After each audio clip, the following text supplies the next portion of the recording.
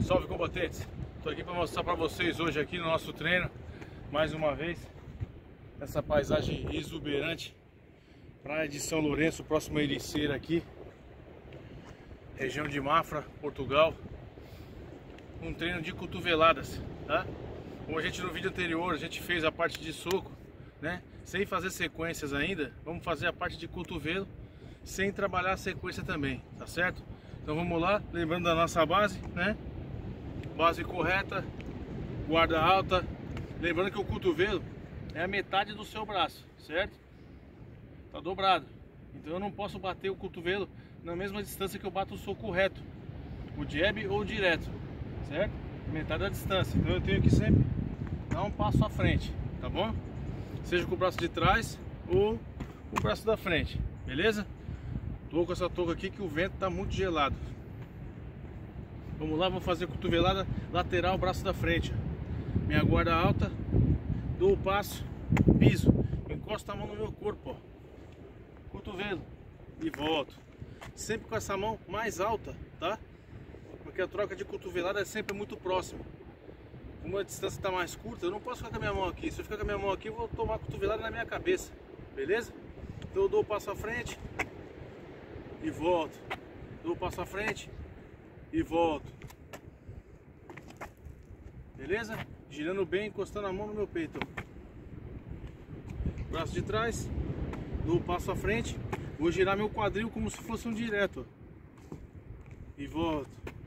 Passo à frente e volto. Passo à frente e volto. Beleza? Vamos fazer agora aqui a parte do cotovelo frontal, que é aquele que entra no vão da guarda ou de parte na, na, no sentido vertical, tá? No meio da cabeça. O movimento é curto, mas pega, tá? E volta. E volta. E volta. Braço de trás, mesma coisa. E volta. E volta. E volta e volta. Pra fazer um golpe no ar com a touca de blusa? Então se for, precisar se defender na rua, ver a situação real, não use touca assim, tá? Cotovelada de baixo pra cima. Desta forma, ó. E volta. Passou, volta. Braço de trás, passo à frente, vira o meu quadril, ó.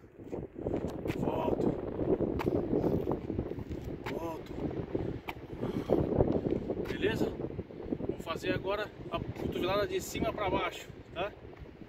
Passo à frente, mão lá em cima, subo na ponta do pé, ó. e volto, volto, volto, direita, volta,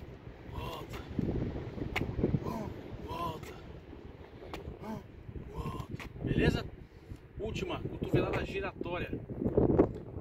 Vou dar um passo frente, porém um pouco para o lado, para poder acertar a distância. Porque se eu der um passo aqui, ó, na minha reta e for girar o cotovelo, vai sair para cá minha cotovelada, certo? Então eu vou fazer esse cotovelo pisando para cá, ó. Piso, ó. Pum. Volto. Piso. Pum. E volto. Lembrando que se eu bater essa cotovelada horizontal, a defesa fica mais fácil, tá? Então eu dou preferência para fazer ela na descendência, beleza? Para o inimigo que tiver com a guarda aqui, ela poder entrar também no vão da guarda. Outro lado, perna direita avança também para fora. Volta. Pisou. Volta. Pisou. Volta. Beleza? Esses são os golpes de cotovelo que a gente usa no Muay Thai, são os mais comuns. Próximo vídeo vamos fazer a parte de joelhada e depois a parte de chutes também. Depois vamos começar a colocar as sequências com todos esses golpes. Se inscreva no canal, deixa aquele like caveira pra gente e compartilha. Tamo junto? Caveira. Abraço.